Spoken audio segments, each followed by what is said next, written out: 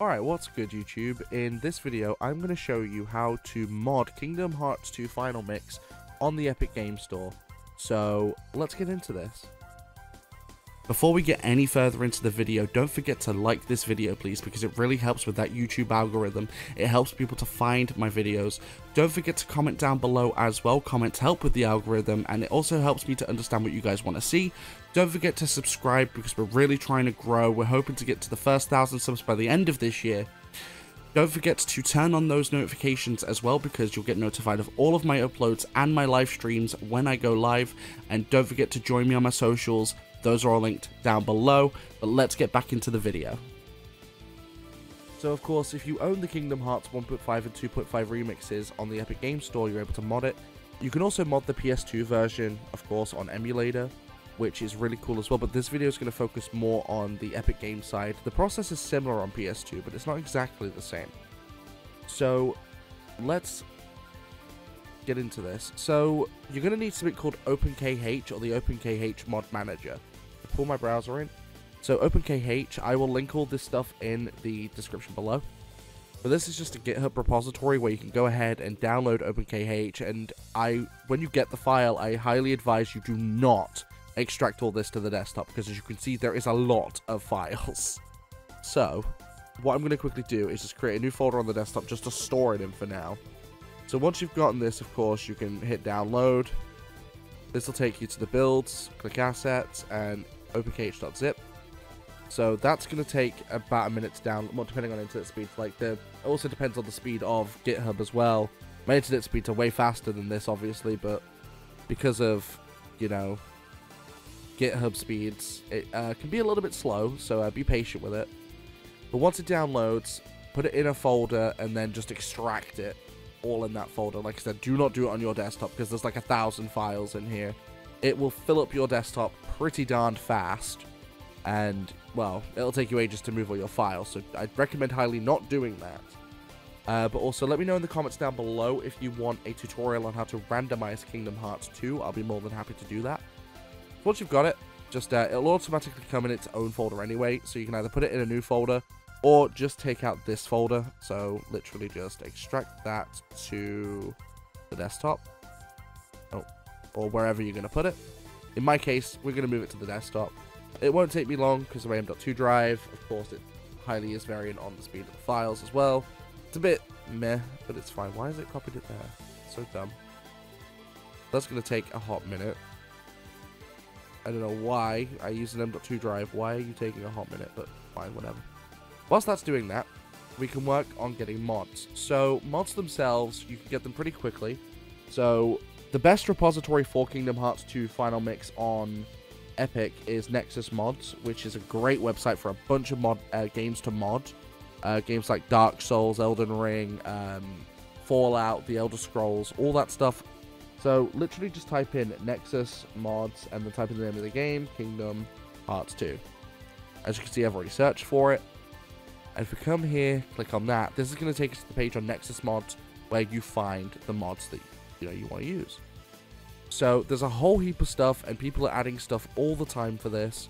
There's a lot of really cool mods on here, but we'll just use one as an example for now. So let's say Kingdom Hearts 1 Sora.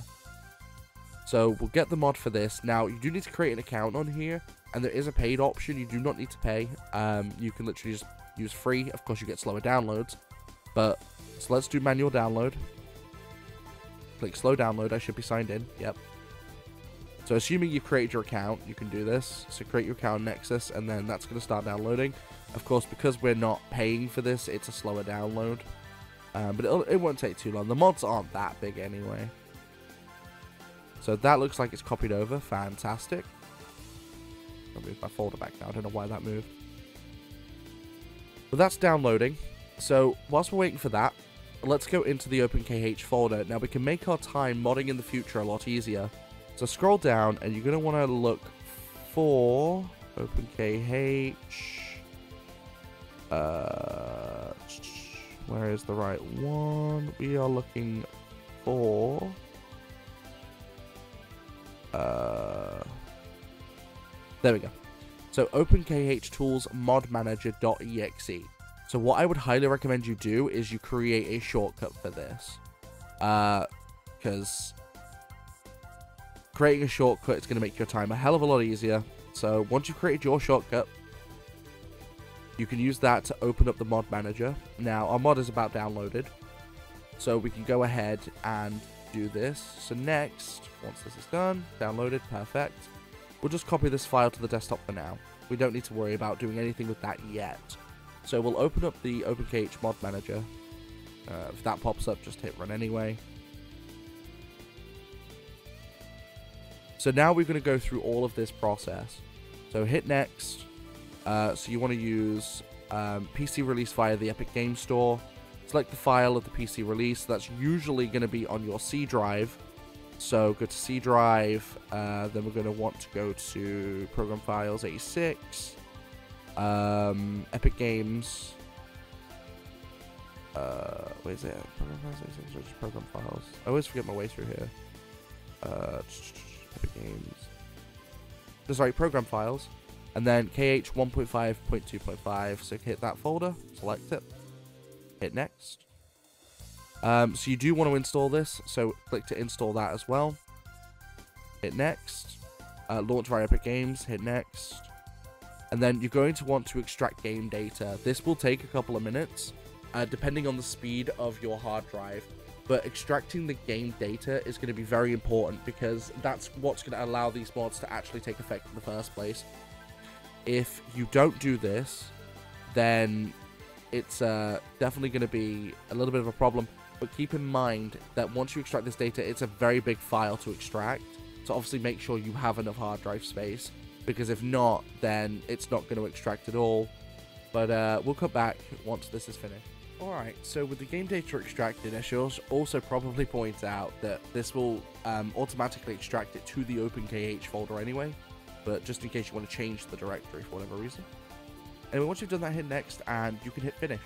So that will then launch the OpenKH mod manager. Now, once you've got the mod you want, so let's extract it from this folder. So all of these count as separate mods, even though it's the same thing, but we'll uh, do this anyway, so we'll get all three files. So you want to make sure that the file format for these is a KH2PC patch. Um, this is, again, specifically for the PC version of the game on Epic Games. But once you've done that, you want to hit mods and install a new mod, and you're going to select and install from mod archive, select desktop, and then the mods will start appearing. So it's going to install all of these mods. Uh, install a new mod. So we'll install the second, and then we will install the third. Now, for general usage, there is one mod I would highly recommend. Uh, that is the Garden of Assemblage mod. So what it does is it changes the Garden of Assemblage from being a data fight hub to being um, each world for the games, just so you can skip out on all the uh, missions, what have you. Like, you don't need to if you don't want to, if you like the gummy missions, but I would highly recommend it. Once you've got your mods installed, uh, you want to hit mod loader, and you want to hit build only. So what this is going to do is it's going to build the game based upon that. And then you're going to want to go to your game itself and then run it. So we'll run Kingdom Hearts 1.5 2.5 Remix. So of course, it might take a hot minute to boot.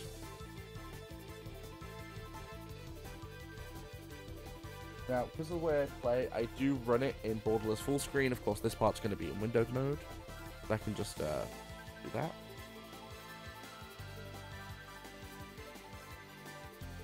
Alright, my control's not plugged in. It probably would help if it was. And that's just activated my rip saw. Very nice. Like. I'll play keyboard and mouse for like a hot minute. Fine. Uh, okay, so Kingdom Hearts 2. I can't remember the uh, controls on PC. Uh, there we go. Alright, so Kingdom Hearts 2 is going to load up. Now, like I said, modding Kingdom Hearts 2 is really cool because there's a whole heap of really cool mods for the game, including randomizer. And like I said, if you want a tutorial for how to randomize Kingdom Hearts 2 Final Mix, don't forget to comment down below. And I will make sure to do that tutorial. Because modding the game isn't just as simple as installing a mod. There's quite a few things you have to install for it. Um, and it's quite a process, especially for someone who's never done a randomizer before. So, uh, like I said, don't forget to, you know, do that. I'm hoping my save files are still on here. Yes, they are. And here we go. We are playing Kingdom Hearts 1 Sora. So the mods worked. We have Kingdom Hearts 1 outfit, which is pretty darn cool, including Kingdom Hearts 1 Sora. And then if I go to, how do I go down that, that? So we'll go to drives. So it said some of the drives would be altered. So wisdom form. Hey, that looking pretty fly though. Like that looking pretty fly. But yeah, if this tutorial helped you out, don't forget to hit a like down below because it really helps with the algorithm. Don't forget to comment as well. Let me know if it helped. Don't forget to subscribe, please, because we're getting really close to the 500 sub mark, which is fantastic. Don't forget to turn on those notifications to be notified of all uploads and live streams. And don't forget to join me on my socials. Those are all linked down below, and I'll catch you guys in the next one.